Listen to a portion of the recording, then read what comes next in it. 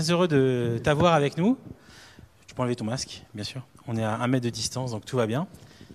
Alors, euh, du coup, euh, WeSpeak, euh, on a eu l'occasion effectivement euh, d'échanger un petit peu. Donc, c'est une belle initiative. Est-ce que tu peux nous présenter justement ta société et pourquoi la voix? Donc bonjour, merci de nous recevoir encore aujourd'hui. Pourquoi la voix et pourquoi WeSpeak Donc bah, WeSpeak, on est là pour répondre à un dilemme. Le dilemme qu'on a tous, c'est que quand on appelle notre, sol- notre centre de contact, on doit raconter le prénom de son chien, l'âge de sa grand-mère, euh, l'adresse de son école primaire. Trouve- tout le monde trouve ça super pénible.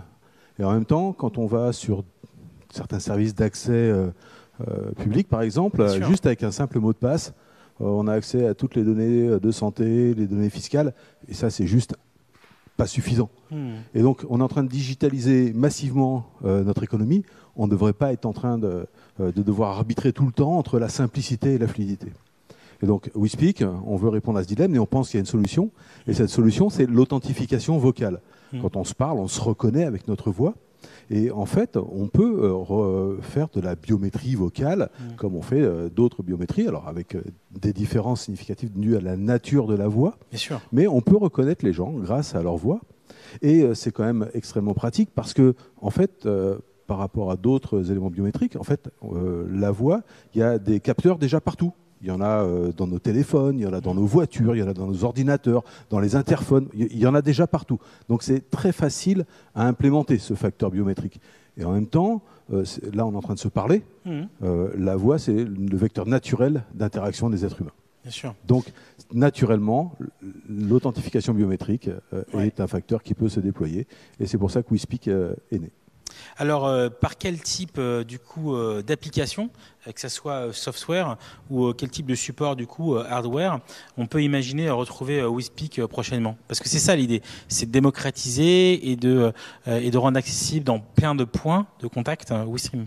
Alors, aujourd'hui, WeSpeak, euh, WeSpeak. fondamentalement, c'est une solution SaaS, Oui. c'est-à-dire qu'elle est accessible à distance et qu'elle est relativement simple Mm. à intégrer pour des gens qui ont des CTI, euh, des éléments qui couplent la téléphonie avec l'informatique. C'est ça. Euh, pour faire un appel sur WeSpeak pour permettre de reconnaître les gens. C'est aussi facile à intégrer dans une application euh, mobile, par exemple sur un Mm. téléphone, où on va pouvoir, par exemple, valider les transactions en, en envoyant une phrase qui va changer à chaque fois.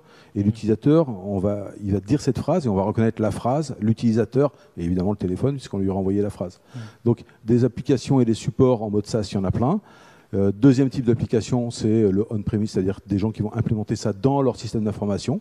Mhm. Et le troisième type d'application que l'on prévoit pour la fin de l'année, c'est des applications de type embarqué, où là, dans des devices, alors ça pourrait être des téléphones par exemple pour quand ils ne captent pas, mais ça peut être les enceintes domestiques, ça peut être euh, des badges avec euh, des euh, signatures vocales sur le badge et des serrures connectées qui permettent de lire euh, la signature et d'entendre la personne qui va parler pour ouvrir la porte. Mhm. Sésame, ouvre-toi, on en rêve tous. Ouais. Donc voilà, le type de déploiement qu'on va avoir.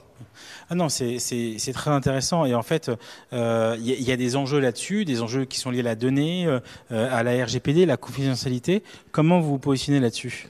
Alors, euh, WeSpeak a un parti pris depuis le début euh, qui est d'être au service des citoyens, pas de. Big Brother. Hmm. Euh, parce que le risque, quand on va utiliser des éléments de type biométrique, c'est euh, d'avoir euh, un fichage généralisé des gens et on voit quel type d'application on peut trouver dans certains pays asiatiques notamment, Mhm. où ils ne s'occupent pas beaucoup de ça, et euh, nous on pense que ça va trop loin. Nous au contraire, on a un parti pris où on veut que cette biométrie reste au service du citoyen pour sécuriser sa présence digitale. Parce Mhm. que on a tous besoin de sécuriser notre présence digitale. Et donc pour ça, on a euh, conçu le produit euh, by design, comme on dit, Ouais. euh, de telle sorte que les éléments biométriques restent sous le contrôle des utilisateurs. Alors, euh, en gros, euh, il est clair que l'intelligence artificielle a évidemment euh, son rôle dans ce type d'application. Où est-elle et, comment vous, l'utilisez? Nous, on utilise l'application euh, de l'intelligence artificielle dans ce qu'on appelle les services vocaux, c'est-à-dire euh, les choses qui font un peu ce qu'on fait nous. Hmm. C'est-à-dire que euh, nous, ce qu'on fait, c'est qu'on écoute une voix et on arrive à la reconnaître. On arrive à dire, bah, ma voix, c'est pas la même que la tienne.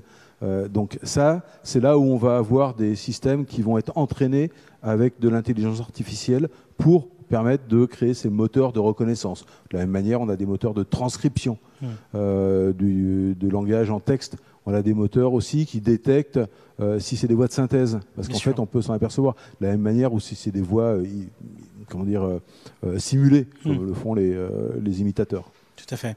Alors euh, là, on est quand même sur un champ nouveau, la voix. On a, utilisé euh, la, pupille, euh, le doigt. en tant qu'entrepreneur, comment vous en êtes arrivé à ce sujet-là? Là, on a beaucoup de startups qui nous suivent et puis on est dans une période qui est compliquée.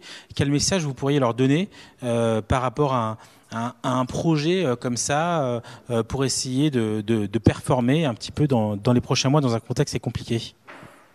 C'est un vaste programme, une vaste question. Mmh. Euh, il y a à la fois euh, du pourquoi we speak et comment on en est arrivé là, et à la fois euh, le conseil aux startups. Donc c'est deux choses différentes. Donc sur WeSpeak, en fait, nous on est le fruit d'un incubateur qui s'appelle Alacrité. Très bien. Donc c'est sept incubateurs dans le monde qui proposent des projets à des équipes pour qu'ils montent à la fois le business case et la techno, puis ensuite font une levée de fonds. Donc c'est un c'est un dispositif qui nous semble tout à fait intéressant, tout à fait original.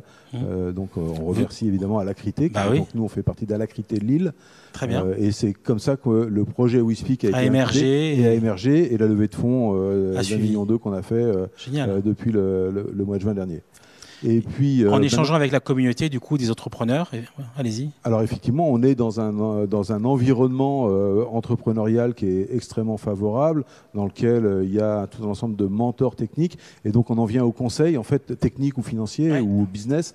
Et c'est là où on en vient au conseil, c'est qu'on peut donner aux entrepreneurs, c'est euh, vous n'êtes pas tout seul, nous ne sommes pas seuls. Voilà, quand, euh, quand on travaille et quand on entreprend, euh, il y a en France énormément de dispositifs d'accompagnement, mm. que ce soit les accompagnements en termes de, développement du projet, donc les incubateurs, les start-up studios, etc. On trouve des gens extrêmement compétents, très motivés, avec qui donnent des conseils tout à fait intéressants. Il y a des accompagnements aussi pour euh, financer ces projets-là. Donc je pense qu'on est euh, effectivement une start-up nation et euh, qu'il y a beaucoup, beaucoup, beaucoup d'opportunités en France. Mais le conseil de base, c'est il ne faut pas rester tout seul il faut se rassembler dans les start-up studios, dans les euh, incubateurs pour euh, bénéficier des services et de l'expérience des uns et des autres. Jean-François, merci beaucoup. Euh, pour ces échanges. Bon courage pour cette année 2021. Et on, on, imagine bien que la voix sera au centre des discussions.